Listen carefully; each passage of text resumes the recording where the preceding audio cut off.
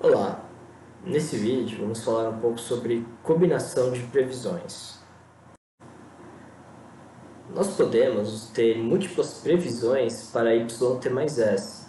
Aqui vamos supor que nós conhecemos ou estimamos um modelo e obtemos uma determinada cara arma, por exemplo. Vamos supor que o processo é estacionário.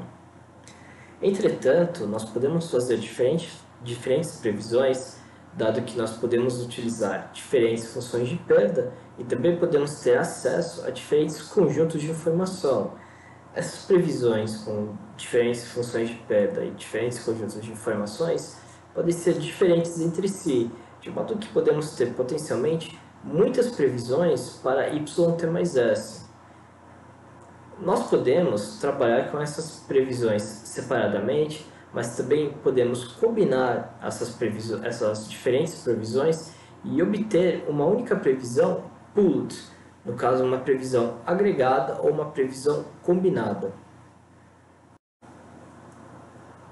Os resultados indicam que, de forma geral, esse procedimento nos leva a uma previsão combinada que é muito boa é, para prever né, de fato o valor da variável. Talvez um pouco melhor né, do que as previsões individuais, porque as previsões combinadas elas podem ser mais robustas a erros de especificação e de medida do que as é, previsões individuais. Entrando em detalhes agora um pouco mais técnicos, nós vamos supor que haverá m previsões para a variável no período é, t para o valor no período t mais h. E nós vamos, no caso, é, colecionar essas m previsões nesse vetor y t mais h é, barra t estrela. Então, cada uma dessas entradas é uma previsão y t mais h barra t estrela.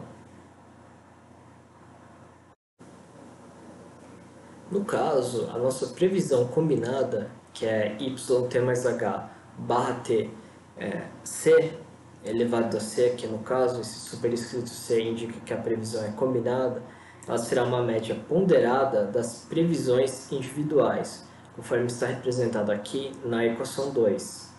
Cada um desses termos AI, T mais H barra T, representa o peso da iésima previsão. Então aqui né, nós temos que esses pesos eles vão respeitar duas propriedades.